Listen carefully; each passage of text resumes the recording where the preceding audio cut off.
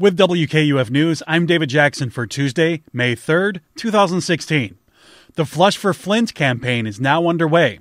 A press release from the city of Flint announces that starting May 1st, residents are being asked to assist in flushing out and coating the city's water pipes. The U.S. EPA, the Michigan DEQ, and the City of Flint are recommending that Flint residents run cold water at the highest flow from their faucet in their bathtubs and through their unfiltered kitchen faucets for five minutes daily for two weeks. Studies show that with the assistance of Flint households, the process of flushing out the system and recoating the existing pipes will significantly improve. Mayor Karen Weaver has said that the city's top priority is still to replace all lead pipes. However, the protective coating is another preventative measure in providing clean drinking water. The cost to run the water for this program is being covered by the state, and residents should expect to see a credit applied to this month's bill. The White House has released a preliminary itinerary for President Obama's visit on Wednesday.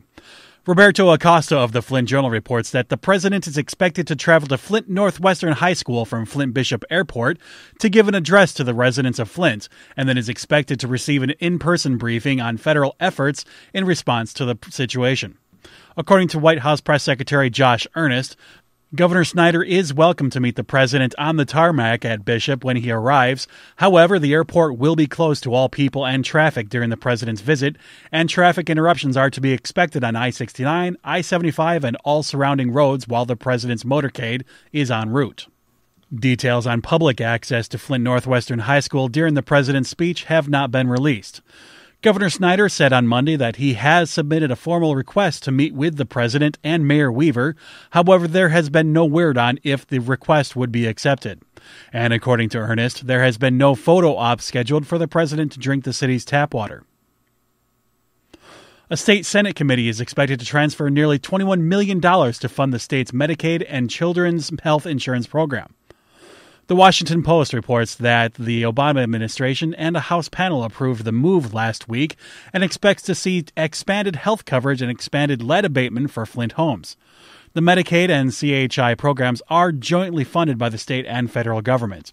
Under the expanded health care coverage, an additional 15,000 children and pregnant women should become eligible for the government health insurance starting next week. Senator Stabenow said in a statement last month that the federal government would likely be more obliged to assist in Flint if the state of Michigan applied more funds to the city. And not necessarily as a result of that statement, Governor Snyder has requested another $165 million in state funding for Flint, which includes $25 million to replace water lines from the mains to individual houses. Satoshi Nakamoto has stepped forward to reveal himself. Or has he? The Associated Press reports that Nakamoto is the pseudonym used by the alleged founder of Bitcoin. And Australian inventor Craig Stephen Wright announced Monday that he is the elusive founder of the digital currency. Wright has come forward to make his claims not by his own decision, according to an interview with the Associated Press, but by the decisions of others who are harassing his staff, friends, and family to come forward with their connection to the Bitcoin currency. In interviews with organizations such as The Economist and GQ, Wright allegedly proved that he and Nakamoto were one and the same by pointing to a mathematical proof on his own blog that has convinced some, such as Bitcoin developer Gavin Andresen, that Wright can make that claim. Emin Gün Sirer, a computer science professor at Cornell University, however, argued the point, saying that the proof appears to be just copy and pasted pieces from old Satoshi signed messages and it proves nothing. Wright's claims are likely to have little effect on the cryptocurrencies market. However, Wright is under investigation by the Australian tax authorities, which may make it easier to access the value in Nakamoto's bitcoins. And finally, a software update is to blame for crashing a $286 million Japanese satellite.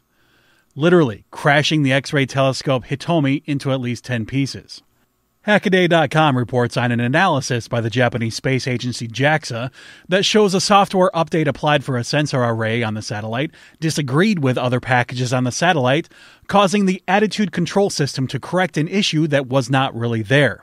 The Japanese space agency reportedly lost, on top of the $286 million, three years of planned observations and a possible 10 years of scientific research, all because of a bad software update.